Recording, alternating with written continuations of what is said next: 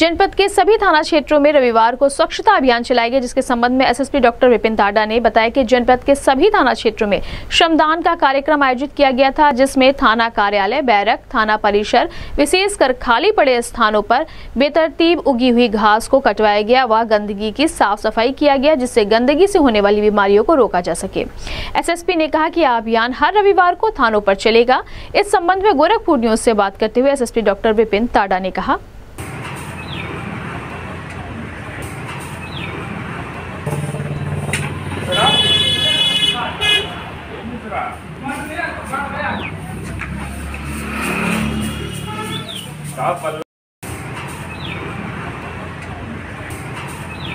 सवेरे सभी थानों में श्रमदान का कार्यक्रम आयोजित किया गया था, जिसमें कि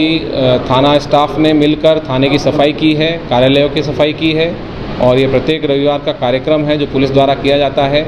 इसके साथ ही जो चुनाव सकुशल संपन्न हुए हैं, उसको देखते हुए पुलिस लाइन में आज शाम आठ बजे बड़ा खाने का आयोजन किया गया है, जिसमें तमाम जनपद की फोर्स को आमंत्रित किया गया है, जिन्होंने सकुशल चुनाव संपन्न करवाने में पुलिस का सहयोग किया और इसमें ये बड़ा खाना आयोजित किया गया, जिसमें अधिकारीगणों के साथ बैठकर हमारे पुलिसकर्मी भोजन का आनंद लेंगे।